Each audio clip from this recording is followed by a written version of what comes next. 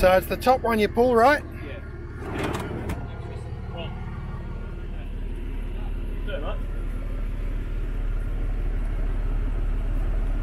Yeah, hiding battery number three.